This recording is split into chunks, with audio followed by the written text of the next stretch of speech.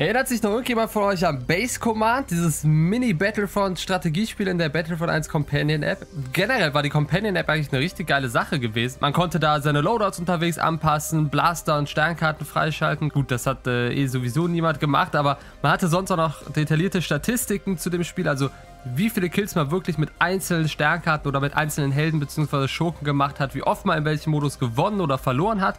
Davon hätte sich Battlefront zweimal eine richtig dicke Scheibe von abschneiden können.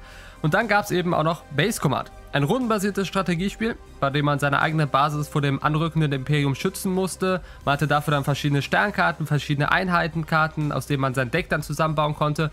Und das war sogar auch richtig ins Hauptspiel eingebunden. Das heißt zum Beispiel, durch Ingame-Aktionen im Battlefront hat man dann wiederum bestimmte Karten im Base Command freigeschaltet und mit jedem DLC für Battlefront wurden dann auch neue Karten und Level eingefügt. Ich glaube, insgesamt gab es da über 140 Level mit verschiedenen Gegnern, die dann auch verschiedene Stärken und Schwächen hatten, verschiedene Fähigkeiten hatten. Gleiches galt natürlich auch für die eigenen Einheiten, die halt eben unterschiedlich gut waren und es gab auch Helden, die halt eben dann richtig stark waren. Leider funktioniert die App jetzt schon seit längerer Zeit nicht mehr, beziehungsweise die Server wurden wahrscheinlich einfach abgeschaltet, was einfach mega schade ist, weil ich Base Command eigentlich immer richtig durchgesuchtet habe.